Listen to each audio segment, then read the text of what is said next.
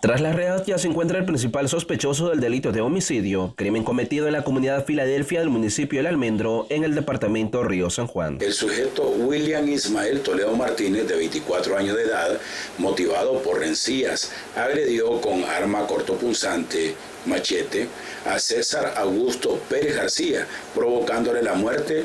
Delincuente se dio a la fuga. Oficiales de búsqueda y captura capturaron al delincuente William Ismael Toledo Martínez, ocupándole el arma a corto punzante machete utilizado para cometer el crimen. Evidencia ocupada, arma corto punzante machete. Resultados periciales policiales.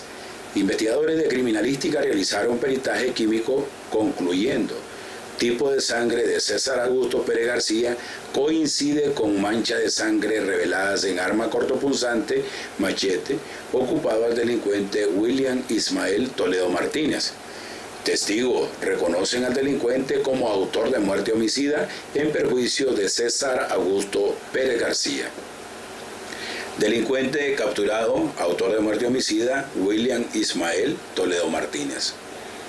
Delincuente y evidencia fueron remitidos a las autoridades competentes. La institución policial reitera su compromiso de continuar velando por la paz y la seguridad de las familias y comunidades. José Girón, Crónica TN8.